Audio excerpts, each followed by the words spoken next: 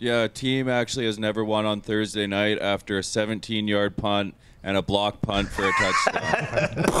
My stats are completely Good objective. nuke right there. That is a good gumpy nuke right there. Hey, that was a bad punt there. Okay, you're going to have that every once in a while. Every once in a while, you're going to shank one. You just got to hope that you're not backed up when you do it, because then you're just giving away points. And that goes to a theory that a lot of people say, like, uh, all the pressure is in kicking or whatever. It's like if you don't think there's pressure in punting, like.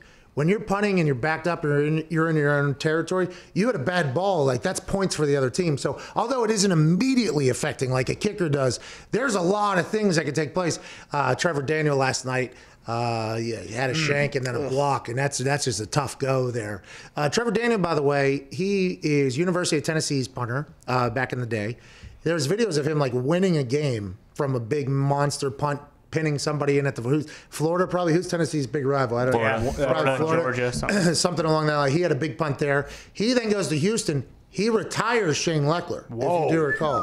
Because the Houston Texans basically told Shane Lechler, get the fuck out for him. Now, obviously, it didn't work out at Houston. He's here at Tennessee after Ryan Allen was uh, punting last week after Brett Kern, who's one of the best to ever do it, has been sidelined with an injury. Last night, punter uh, in special teams affected that outcome mightily, and the over-under bet that Diggs decided to hammer the under on was completely wiped out. Anytime you have a 17-yard punt in your own territory, that's points for the other team, and a block punt, scoop and score for a touchdown. Obviously, that is also uh, points for the other team. And anytime you hear that word points come up a couple times, that underbet's normally Yeah. going to be in the middle of what we like to call fuckville. Yeah, I mean, it went over by two and a half points. You're the mayor.